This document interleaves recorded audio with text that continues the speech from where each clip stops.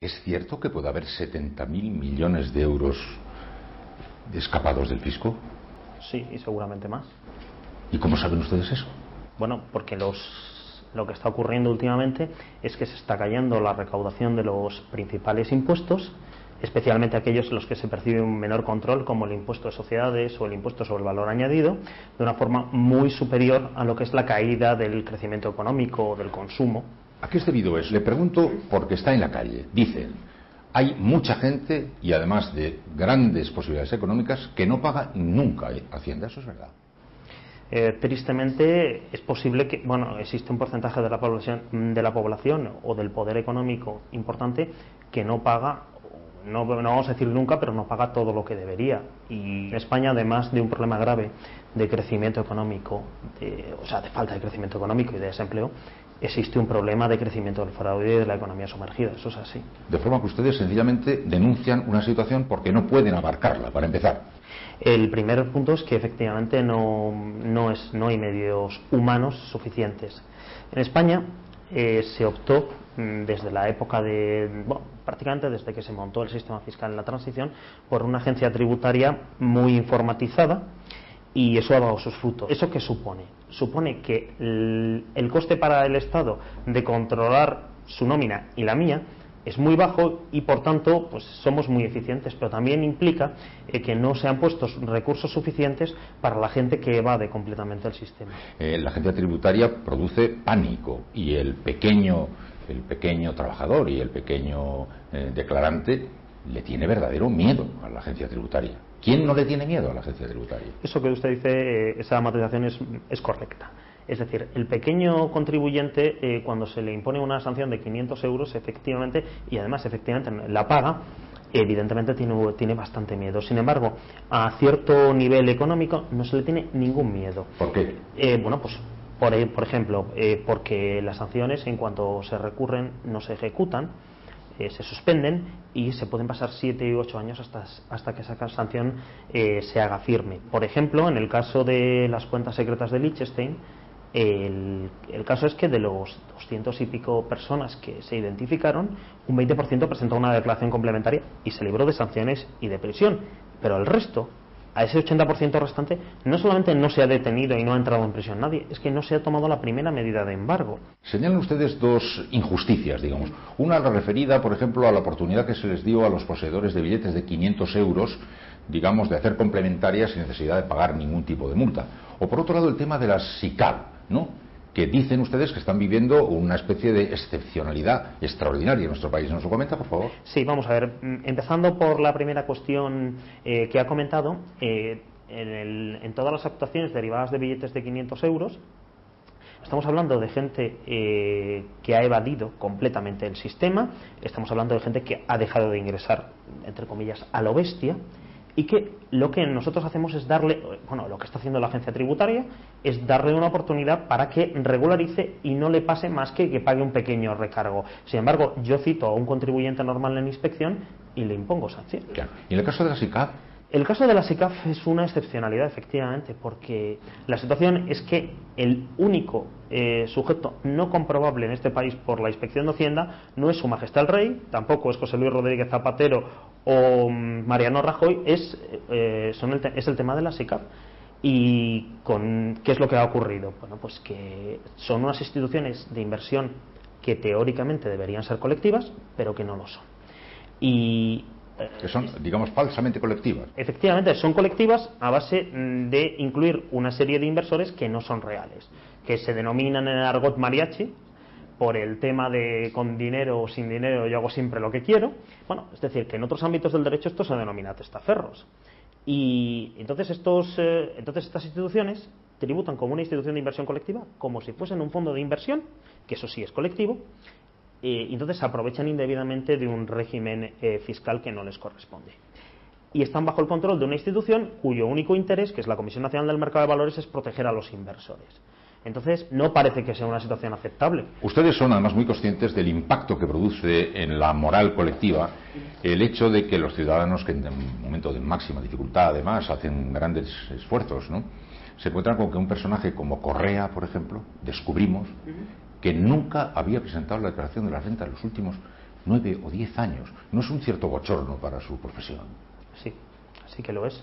Evidentemente, pero claro, para localizar a un sujeto como Correa eh, es necesario investigar y si los medios nos ponemos en comprobar a la gente que únicamente, que es algo que también hay que hacer, a la gente que ya declara, evidentemente va a ser muy complicado que podamos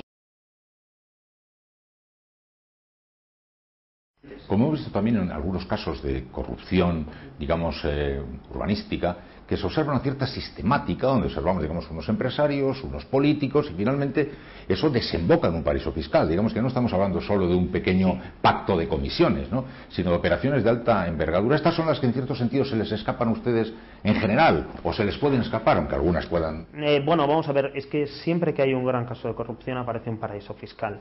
Pero eh, además es que todos identificamos un paraíso fiscal con un sitio donde se pagan pocos impuestos, lo cual, pues básicamente es cierto. Pero la característica fundamental de un paraíso fiscal es su absoluta opacidad y su, eh, normalmente su sistema bancario completamente blindado con secreto bancario y también su falta de colaboración con otros países. Entonces, en la medida en que se pueda luchar contra los paraísos fiscales y se les obligue a colaborar, eh, pues mm, reduciremos los casos de corrupción aquí en el tercer mundo.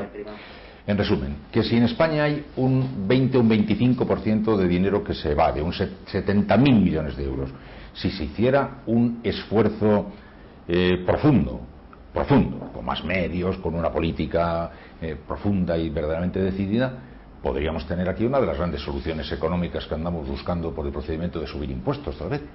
Sí, nosotros creemos que eso es cierto, pero es que incluso mm, hay que ir un poco más allá. Tristemente, en los últimos años se está produciendo una caída recaudatoria muy superior a la caída del eh, crecimiento económico. Hay un ejemplo que es paradigmático. en el año 2000... ¿Se paga cada vez menos? Bueno, mire, le voy a poner un ejemplo. En el año 2008 las empresas liquidan el impuesto de sociedades del 2007. El 2007, según la Central de Balances del Banco de España, las empresas tuvieron beneficios récord y ganaron más dinero que en 2006. Es el año de máximo beneficio de las empresas de este país. Cuando tienen que declarar el impuesto es en julio del año siguiente, en julio de 2008. Y ya estábamos en plena crisis. Bueno, pues la recaudación del impuesto de sociedades del 2007, con beneficios de 2006 inferiores, fue de 45.000 millones de euros. Al año siguiente, esta recaudación, y ya le digo, em, con beneficios récord, se redujo en 20.000 millones de euros, un 39% menos. Claro, eso es inexplicable. Bueno, sí hubo una ligera rebaja del impuesto, mm, pasó de pagarse un 35 a un 32,5, pero evidentemente. ¿Usted cómo lo interpreta entonces? Pues nosotros interpretamos que hay un gravísimo problema de fraude que cuando mm, y que está creciendo la economía sumergida y el fraude, en la medida en que las empresas les es más cómodo, en muchos casos, pagar al banco no declarar la tienda o declarar, pues no sé, falsificando gastos, por decirle algo, y bueno, y si viene dentro de tres años una inspección, pues ya veremos. Es decir, es lo que le decía antes, hay grandes contribuyentes que le tienen mucho más miedo a muchas otras cosas que evidentemente Hacienda.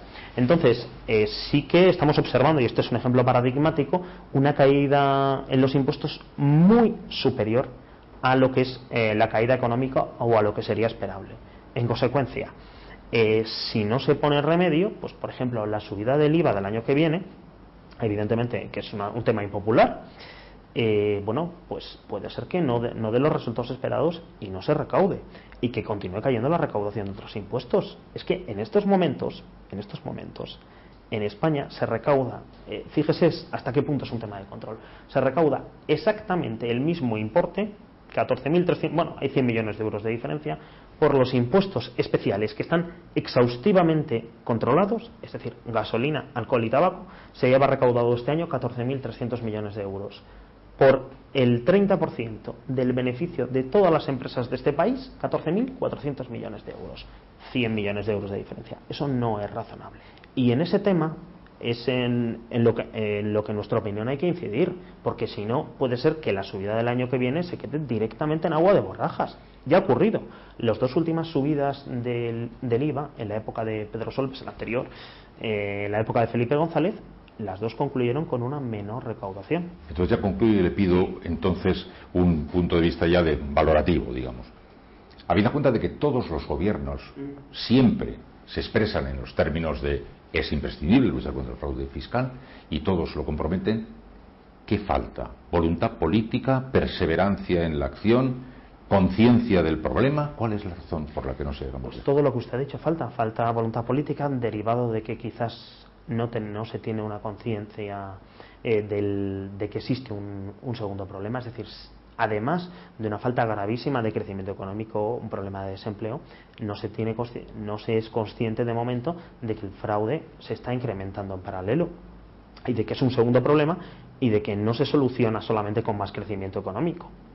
Y entonces ese es un problema. En segundo lugar, que no se toma como prioridad, no se ponen más medios. Es decir, presupuesto del año que viene de la agencia tributaria es una reducción del 6,1%, por encima de cualquier otro ministerio todo, cualquier ministerio, los ministerios no han recibido un recorte similar. Entonces ya no es que no se pongan más medios, es que se ponen menos. Entonces, evidentemente, mm, nosotros creemos que hay que hacer un esfuerzo adicional y tristemente lo que vemos es que eh, bueno pues que no que se fía todo a que en un momento dado venga un crecimiento económico y restablezca el sistema pero nos parece complicado. Muchas gracias. Gracias a usted